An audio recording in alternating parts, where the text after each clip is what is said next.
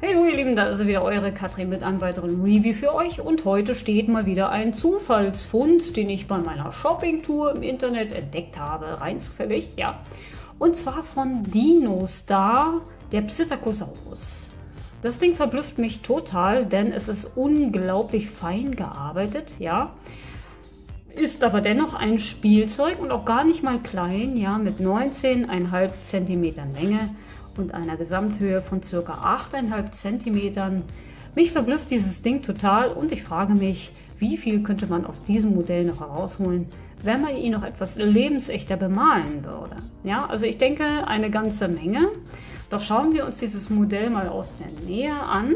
Da haben wir schon mal den Kopf in der Nahansicht. Das Auge ist unglaublich sauber gemalt und auch wenn es so vermuten lässt, nein, der Kiefer ist nicht beweglich, er hat das Maul leicht geöffnet. Er hat natürlich ziemlich knallige Farbtöne bekommen, ja, mit diesem grell-orangen Schnabel und dieser gelben Spitze da vorne dran. Und die sind doch eher Pastelltönen und so, mit denen er da besprüht wurde, bemalt wurde. Ja, und äh, die Details sind auch noch recht verblüffend. Wenn man sich das mal so anschaut, er ist recht fein gearbeitet wirklich ein bemerkenswertes Modellchen. Ja. Hier der Kopf von der Unterseite.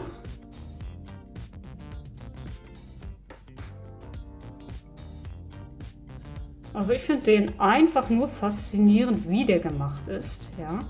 Schon sehr speziell. Dino Star, die Firma kannte ich vorher noch gar nicht. Und schaut euch nur mal die Hände an. Ja.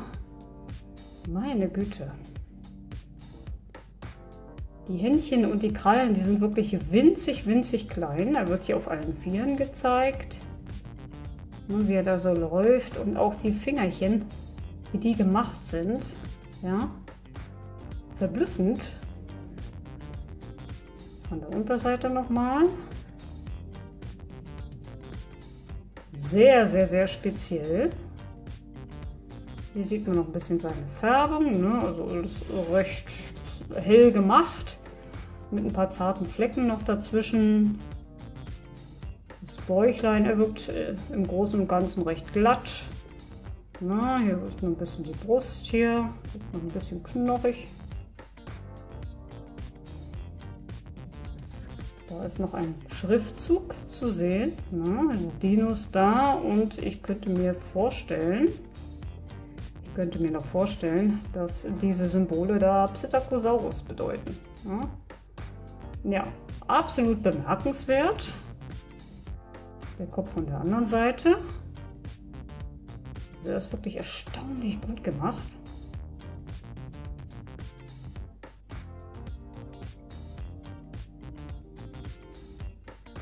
Muskulöse Arme. Körperchen von der anderen Seite und hier hat hier so minimal so ein paar Osteoderme, auch recht schick, ne? Das Oberschenkelchen mit den kräftigen Waden. Die Schuppen, die sind hier noch sehr schön gemacht, ja, auch wenn das hier wie Farbabrieb aussieht. Nein, der ist hier noch ein bisschen weiß, weiß bemalt worden. Und dann hier die Füßchen, die sind wirklich ganz, ganz zart und fein. Ja, und wenn man mal so schaut, die Zehen selbst, wie die gemacht sind, ja, wirklich sehr vogellike. Ganz dünn und fein. Ich könnte mir vorstellen, dass die noch schnell brechen, ja.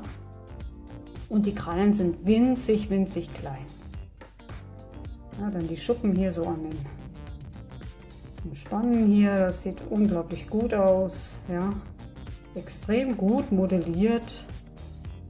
Die Füßchen von der Unterseite sieht man die einzelnen Ballen sogar. Absolut bemerkenswert. Und nochmal von der anderen Seite.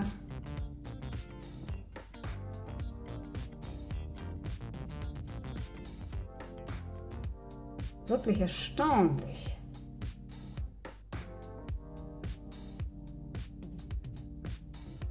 Wirklich verblüffend, wie der gemacht ist. Dann kommen wir auch schon zum Schwanz und der hat hier wirklich eine lange Proto-Federfahne, ne, die auch noch sehr kreativ umgesetzt wurde. Auch in einem ziemlich knalligen Orange besprüht. Ne, auch mit minimalen Details noch drauf und so. Ja. Schwanz hier nochmal mit seiner Bemusterung hier. Unterseite. Sehr viele Hautfalten hier. Ne? Cloaca hat er auch bekommen. Sehr speziell.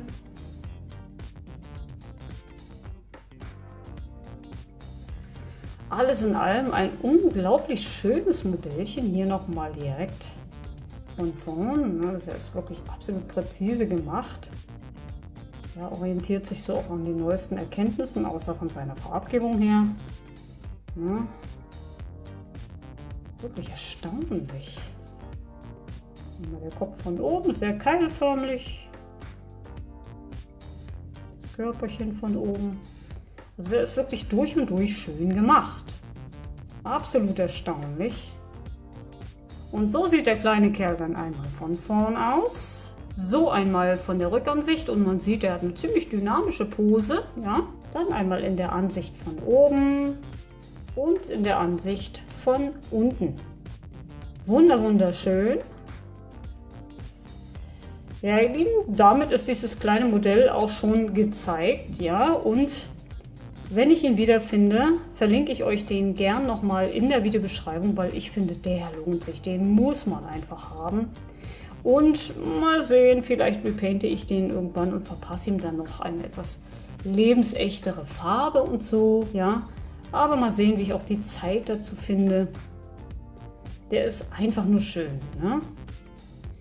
Tja, ihr Lieben, damit klinke ich mich auch schon wieder aus. Sagt Tschüss, bis zum nächsten Mal. Wenn es wieder heißt Review Time, Unboxing Time, was auch immer Time bei Katrin.